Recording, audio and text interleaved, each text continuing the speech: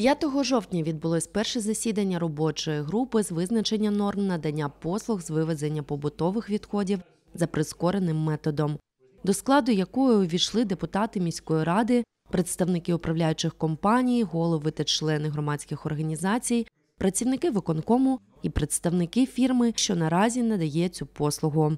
Хоч і в неповному складі, та все ж за участю більш ніж половини членів робочої групи, засідання розпочалося з виступу Віктора Шевченко, що ознайомив присутніх з розпорядженням міського голови та порядком денним, на який було винесено три питання.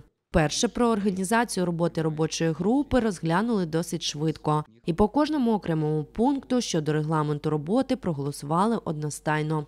Та вже на другому питанні про визначення порядку та строків проведення замірів відповідно до правил визначення норм надання послуги з вивезення побутових відходів виникли розбіжності у поглядах на алгоритм вимірювання серед членів робочої групи. Запропонований метод вимірювання ваги сміття одним з членів робочої групи знайшов підтримку серед меншості присутніх. Проте такий метод не прописаний в нормативних актах і може стати в подальшому приводом для недовіри чи неправомірності дій робочої групи.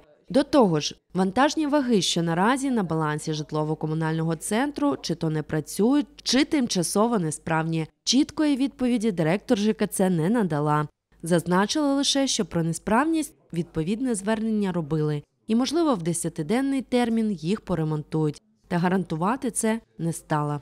Деякі членів групи запропонували все ж зробити заміри не лише об'ємів, як того вимагає закон, а все ж паралельно із цим зафіксувати і вагу сміття.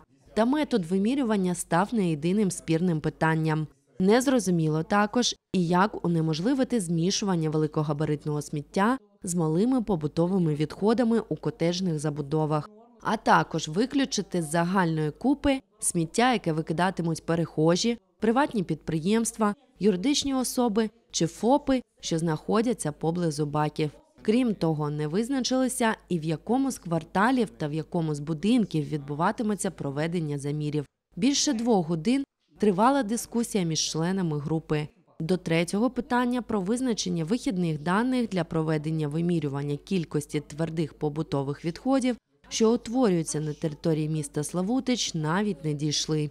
Єдине про що домовились, це те, що раз на тиждень члени комісії збиратимуться в залі засідань. Також зрозуміло, що відповідно до тексту закону вимірювання за прискореним методом має відбуватися протягом семи днів за допомогою замірів об'єму сміття на території, де кількість мешканців відповідає 2% загальної кількості населення міста. Наразі обговорення відклали до наступної зустрічі, що відбудеться вже за тиждень. За цей час члени комісії мають знайти рішення на всі спірні питання, яких наразі більше аніж відповідей.